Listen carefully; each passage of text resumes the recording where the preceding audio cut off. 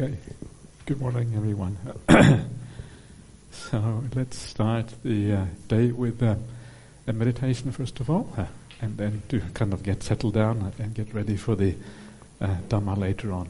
So uh, please, as always, uh, just close your eyes.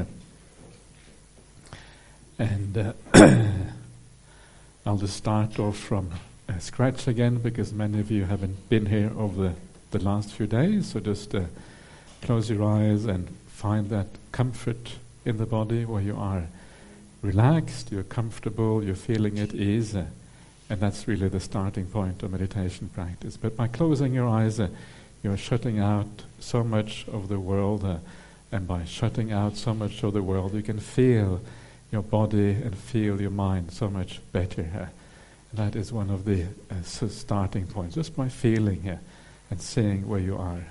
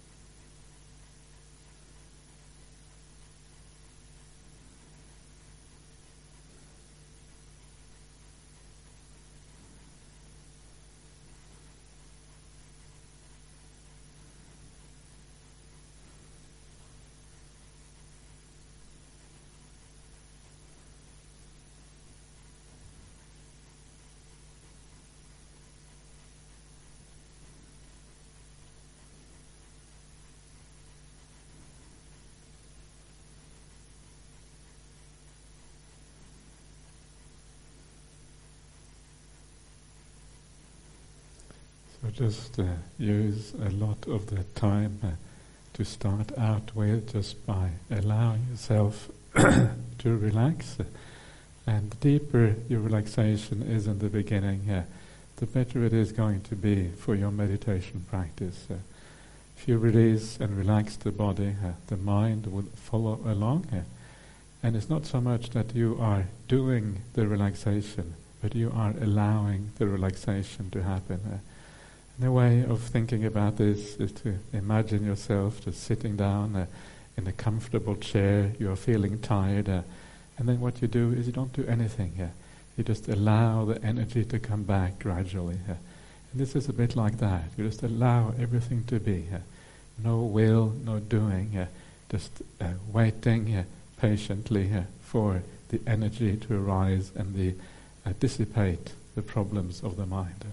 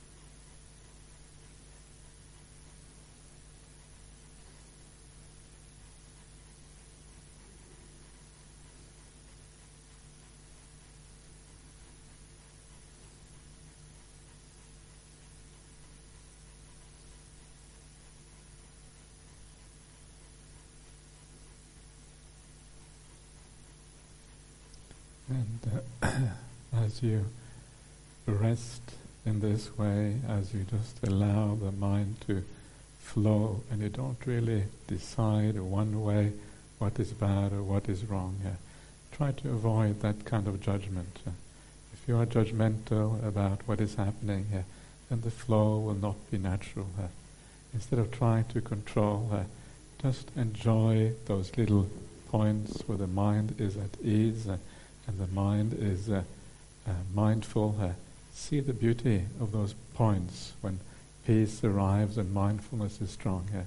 and as you do so, the mind will incline in that direction.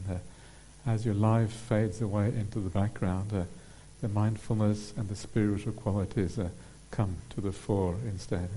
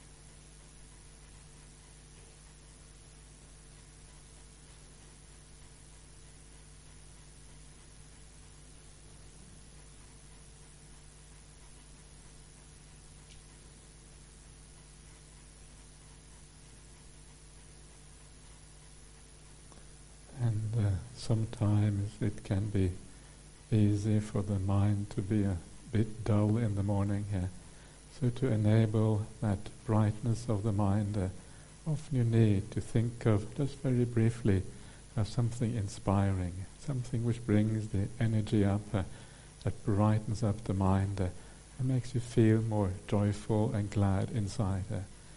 and uh, there's many ways of doing this, uh, but one of the obvious ways is just to feel grateful for being in this situation, uh, grateful to the BGF for organizing such a beautiful building and a beautiful place to meditate and learn the Dhamma, uh, and all the people who support this, uh, all the Kalyanamittas who make this possible. Uh, what a wonderful thing that is, uh, to have this support network around you, uh, to make this possible. Uh. if you think about this in the right way, it will give rise to a sense of appreciation and gratitude uh, for all the good things in your life, uh, to count your blessings rather than seeing problems in the world. that is such a wonderful thing to do. So try that if you feel a little bit of uh, uh, sloth in the morning. Uh, and this is always the counteractive part to any tiredness you may have.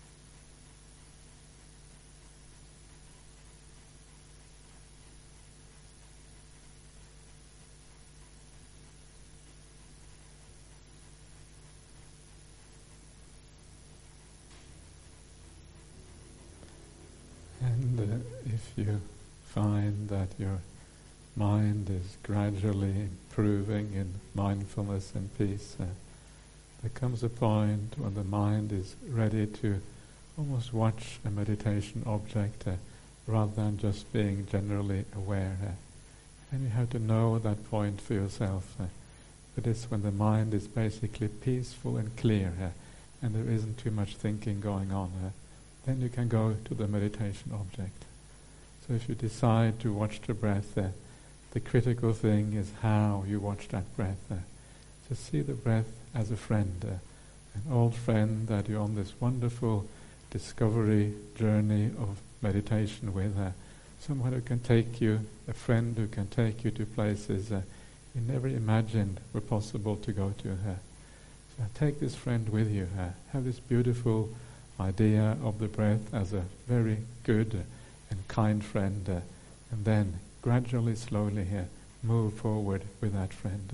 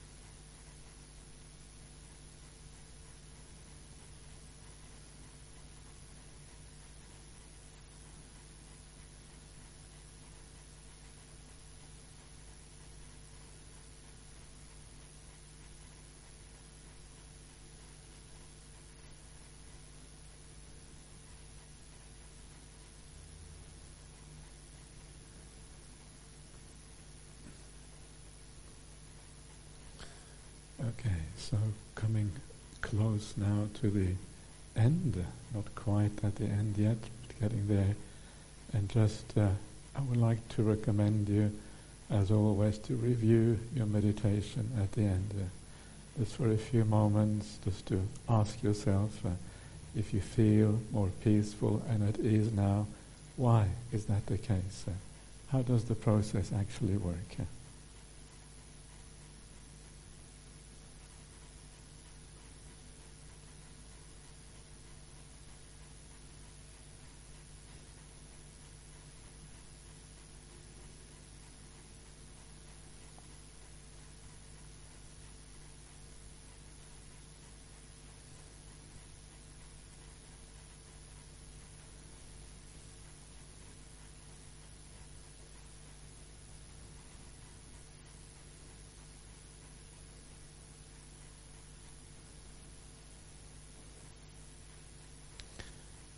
Okay, so that's the uh, end of the meditation for now. So uh, uh, let's have another break, and I'll see you back again around quarter past nine.